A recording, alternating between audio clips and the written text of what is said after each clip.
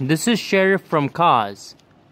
He was. This is actually a new version of Sheriff that I got earlier on. And as it is, he was a Mercury police cruiser. He was voiced by Michael Wallis. Sorry, Sheriff was actually a 1949 Mercury Coupe. You can see on his base it says 49 Merc right there. And it says Sheriff over here and Mercury over there. Sheriff over here in Radiator Springs. He was actually a police officer of Radiator Springs and he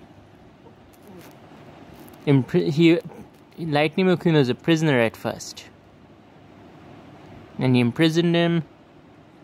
And he also he was in and he also when Boost when Wingo DJ Boost and Snot Rod the Hot Rods arrived in Radiator Springs he arrested them and sentenced them to fix the road immediately.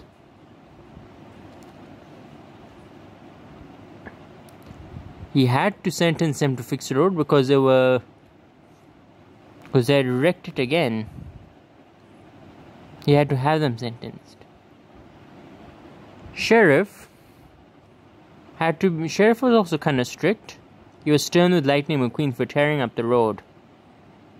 And his and when lightning mcqueen passed him he said not in my town you don't and he chased after lightning mcqueen and his and, his exhaust pipe only backfired, wasn't shooting at McQueen at all. And Lightning McQueen was prisoner in Radiator Springs at first.